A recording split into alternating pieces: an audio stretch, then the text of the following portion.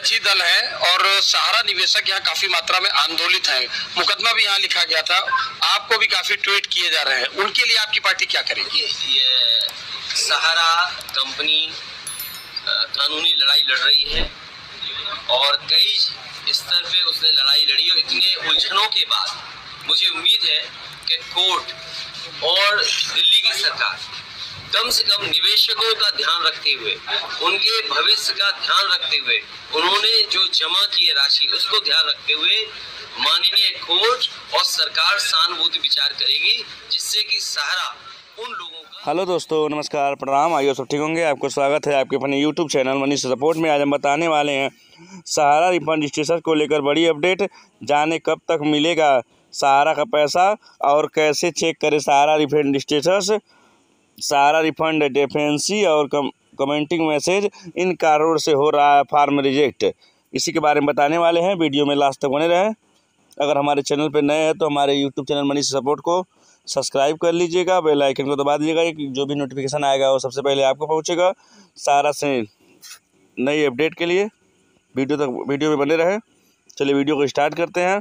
सारा refund portal की तरफ़ से शहर निवेश, सहारा निवेशकों के लिए एक बड़ी अपडेट निकल कर सामने आ रही है कि सब सभी सहारा निवेशकों को ये खबर जान लेना बेहद ही ज़रूरी होगा कि है कि यदि आप भी सहारा इंडिया निवेशक हैं और आपका भी पैसा सहारा बैंक खाते में अभी तक वापस नहीं मिला है तो इस वीडियो को ध्यानपूर्वक लास्ट तक देखिएगा। सहारा की लेटेस्ट अपडेट आप सभी को हैरान कर दे सकती है। सहारा के इन नए अपडेट के बारे में हर कोई परेशान हो चुका है।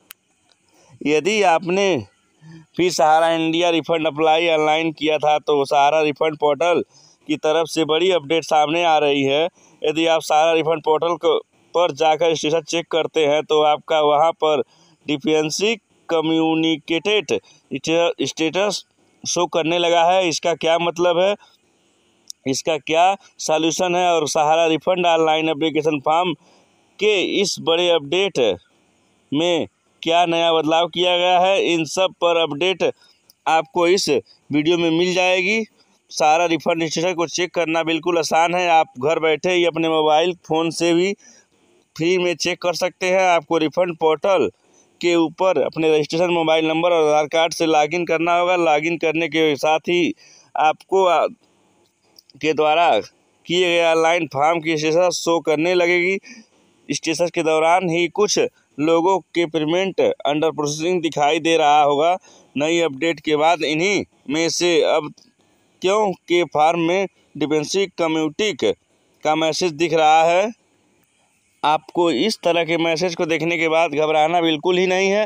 आपका पैसा बिल्कुल सेफ़ है और वहाँ बैंक खाते तक भी वापस चल, जल्द ही रिफंड किया जाएगा। आपको द्वारा ऑनलाइन करते समय आपके डॉक्यूमेंट में कुछ त्रुटि रह गई होगी या फिर दस्तावेज़ की कोई प्रोसेसिंग पूरे होने से पहले ही रिजेक्ट हो हो गई होगी। ऐसे में आप दोबारा से इस फॉर्म को डॉक्यूमेंट अपलोड करते हुए भर सकते हैं।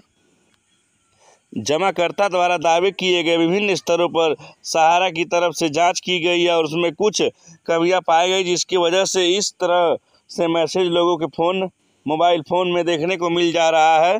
जमाकर्ता द्वारा समिति में से एक से अधिक सदस्यता यदि भी ली गई है तो सिर्फ़ पर, प्रथम सदस्य ही क्लेम किया जाएगा। यदि आपका जमाकर्ता का विवरण विकिरण सहारा समिति डेटाबेस में नहीं है या समिति का वह कोई भी सदस्य नहीं है तो ऐसे में आपकी एप्लीकेशन को रिजेक्ट किया जा, जाएगा।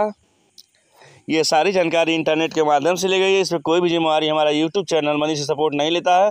बस आज के लिए इतना ही। मिलते किसी अच्छी सी वीडियो, अच्छी जानकारी के साथ। जय हिंद, जय भारत।